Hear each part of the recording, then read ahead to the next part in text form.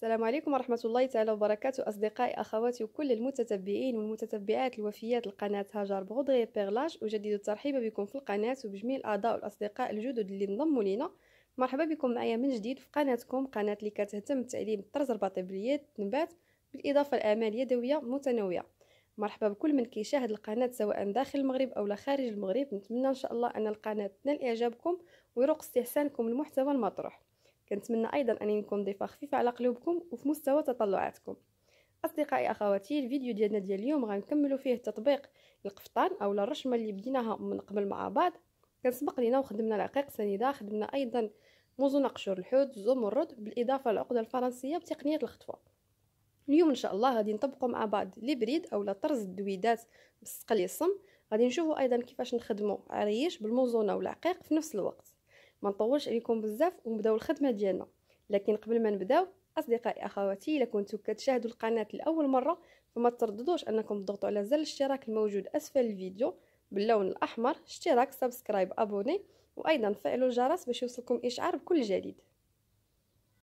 بسم الله على بركة الله. كيف ما كتشاهدوا كان سبق لينا وخدمنا مع بعض في الفيديو السابق العقده الفرنسيه بتقنيه الخطفاء عمرنا الوسط ديالها بالعقيق سنيدة.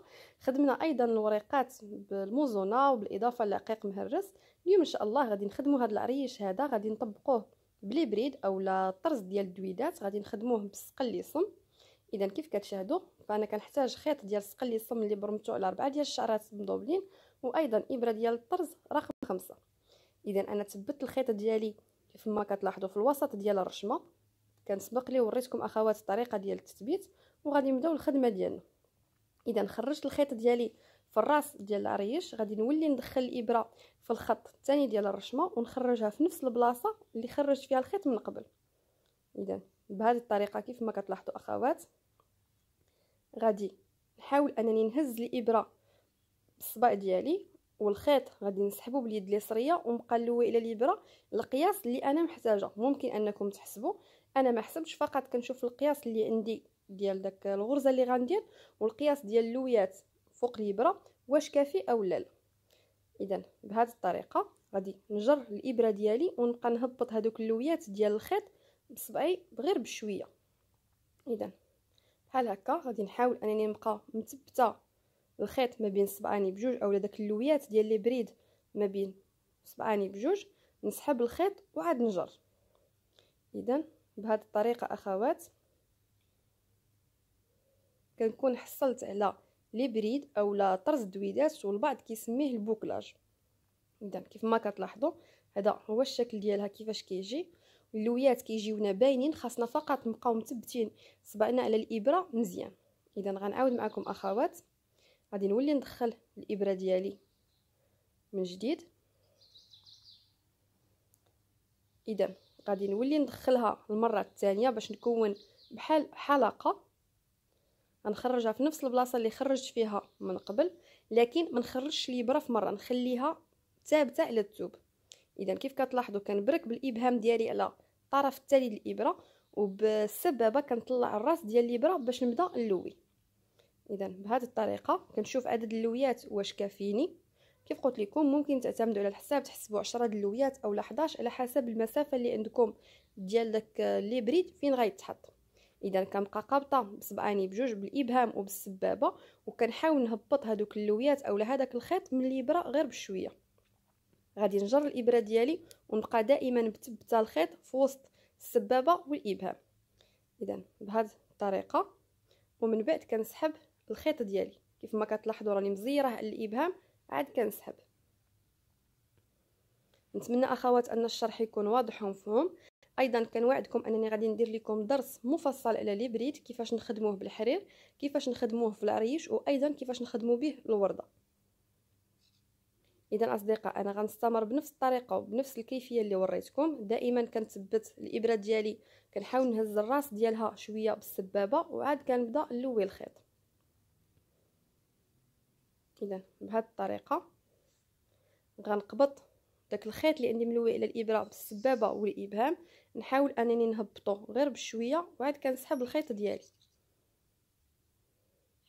إذا بهذه الطريقة أخوات أنا غادي نكمل لي بريد اللي عندي. غادي نحاول أنني نخدم هذا العريش كامل بنفس الطريقة ومن بعد نرجع لكم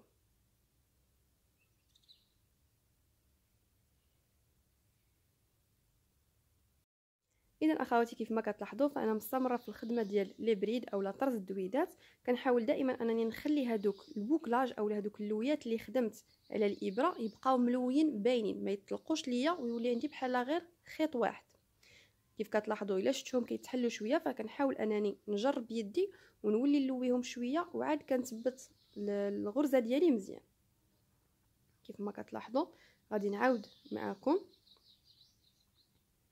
نتمنى أخوات أن هذا الدرس يكون مفهوم كيف قلت لكم غادي نخصص لكم إن شاء الله درس خاص غير بلي بريد. نشوفوا كيفاش نخدموا دي موتيف بهذا الطرز هذا إذا كنحاول أنني دائما نخلي دوك اللويات على الإبرة يبقاو مزيرين مزيان وإلا شفتهم بداو كيتحلوا ليا فكنحاول أنني نبدأ نجر شوية بصبعي ونقاددهم. إذا كنحط صبعي وكنزير مزيان. أنا غنستمر أخوات بنفس الطريقة. حتى غادي نكمل الخدمة. من بعد غادي نرجعوا باش نكملوا بقية التطبيق مع بعض. وكيف كنقول لكم دائما أي تساؤل أي استفسار أو لا أي ملاحظة فما ترددوش أنكم. تخليوا لي تعليقاتكم وغادي نقراهم وأنا جد سعيدة. أيضا غادي نجاوبكم بشكل مفصل أو لا غادي نحاول أنني نجاوب على التساؤل ديالكم بالتطبيق في الفيديو. اذا أخوات غنستمر هكا حتى نكمل ومن بعد نرجعوا نكملوا بقية التطبيق مع بعض إن شاء الله.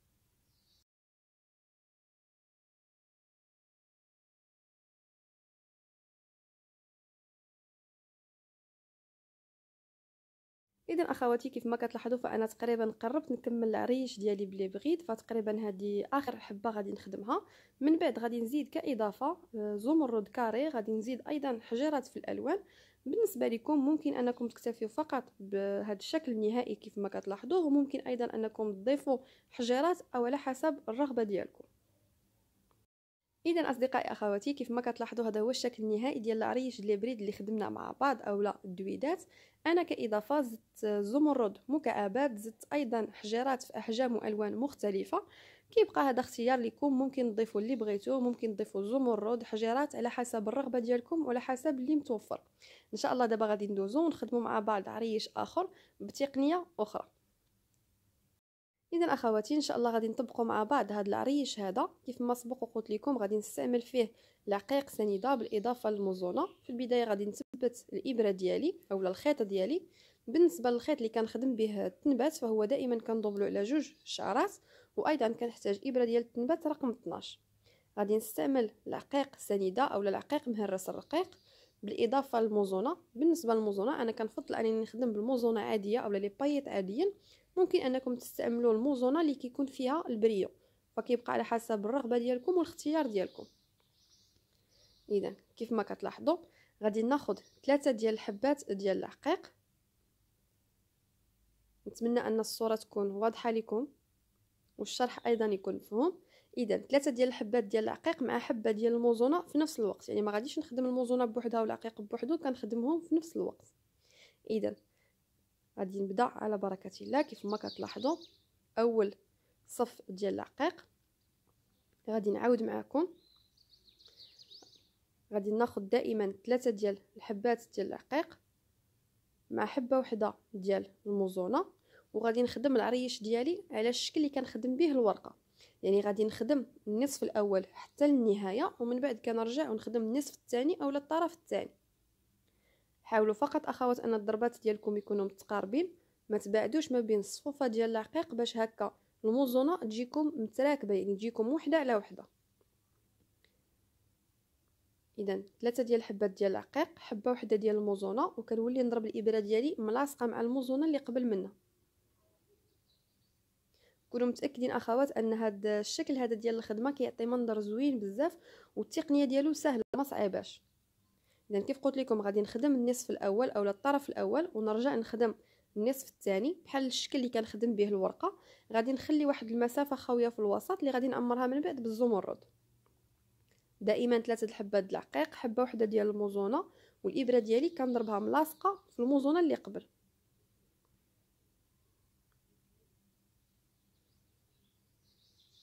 دائما تبعوا فقط الخط ديال الرشمة اللي كنخدموا فيه. كل ما خدمنا الطرف الأول بوحدو عاد الطرف الثاني الخدمة كتجينا متقونه ومفينية مزيان.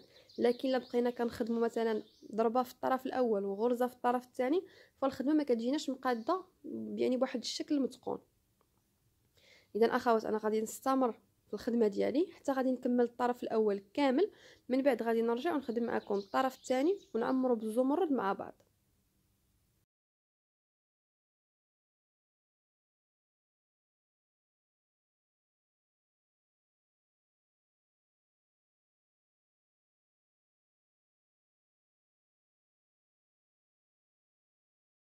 إذا أخوات كيف ما كتلاحظوا معايا من بعد ما كملت الخدمة ديال الطرف الأول حتى النهاية رجعت كنخدم في الطرف الثاني. كيف قلت لكم من قبل بنفس التقنية اولا بنفس الطريقة اللي كنخدموا بها الوريقة. يعني كنخدم الطرف الأول عاد كنخدم الطرف الثاني.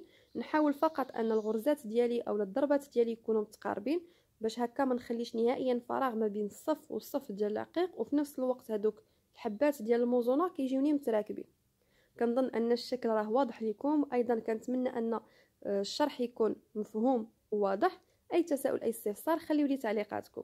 إذا أنا غادي نكمل العرش ديالي حتى للنهايه من بعد غادي نرجع وغادي نخدموا مع بعض الزمرد بنفس الطريقة اللي خدمناها في الفيديو السابق.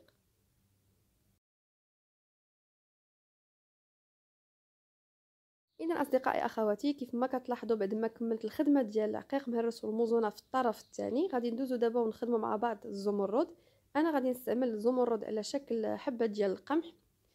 اذا غادي نحاول أني نعمر الوسط ديال العريش بنفس الطريقة اللي خدمناها مع بعض في الفيديو السابق.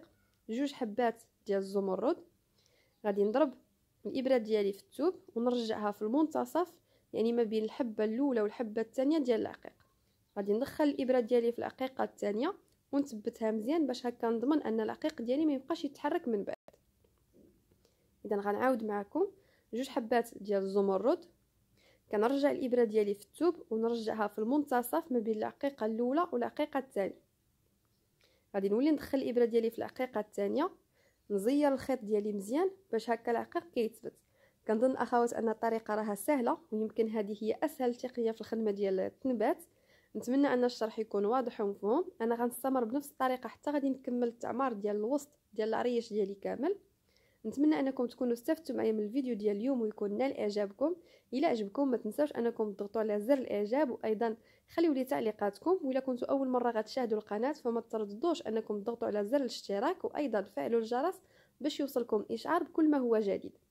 مازال ما ساليناش الرشمه ديالنا مازال غادي نتلاقاو إن شاء الله في الفيديو المقبل. باقي لنا جزء آخر غادي نطبقوا فيه ورقة كبيرة بالتنبات أيضا غنستعملوا فيها العقيق والموزونة ومن بعد غيكون لينا فيديو خاص مع استعراض الشكل النهائي للقفطان شوفوا الرشمة كاملة كيفاش جات وأيضا غادي نعطيكم الرشمة بالنسبة للأخوات اللي بغاو يطبقوها إلى الملتقى إن شاء الله في الفيديو المقبل Thank you.